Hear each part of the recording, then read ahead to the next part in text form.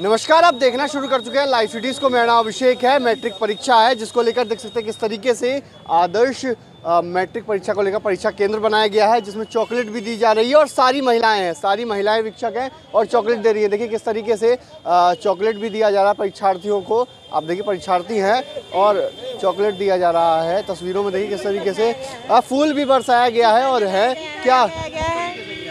यहाँ पर प- बहुत अच्छे से स्वागत किया गया है टीका लगाया गया है फिर उसके बाद टॉफी दिया गया है आरती किया गया है और बच्चे को आरती भी की है। आरती भी की गई है और बहुत अच्छे से बच्चे लोग को स्वागत किया गया ताकि बच्चे का एग्ज़ाम अच्छे से जाए बच्चे का भविष्य उज- उज्जवल हो। देखिए किस तरीके से फूल बरसाया जा रहा है फूल किया गया है? यहाँ पर जो है सारी व्यवस्था जो है अच्छी से की गई है। बैलून से सारा सजाया गया है फूल से सजाया गया है। लड़कियों के स्वागत आने पर लड़कियों का स्वागत जो है फूल के वर्षा से आरती से और टॉफ़ी दे करके किया गया है। तो देख सकते हैं किस तरीके से क्या क्या किया गया है मैम?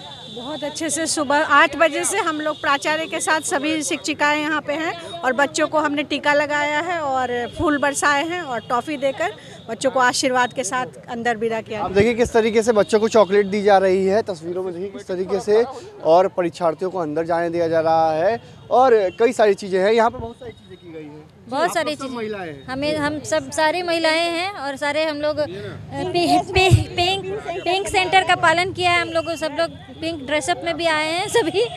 और सारी सारी बच्चियों को फूल बरसाए गए हैं और टीका लगाकर उनको शुभ शुभकामनाएँ दी गई है एग्ज़ाम की उनकी। आप देख सकते हैं किस तरीके से फूल बरसाया जा रहा है और चॉकलेट भी दी जा रही है। तस्वीरों में देखिए किस तरीके से फूल बरसाया जा रहा है चॉकलेट दी जा रही है और कई सारी चीज़ें की जा रही हैं। काफ़ी खुश हैं और परीक्षार्थी बड़ी संख्या में आ रहे हैं सेंटर पर। आप सेंटर के बाहर देख सकते हैं किस तरीके से परीक्षार्थी है। क्या तैयारी पूरी है? हाँ। पूरी तैयारी है ना? हाँ। क्या पूरी तैयारी है? हाँ।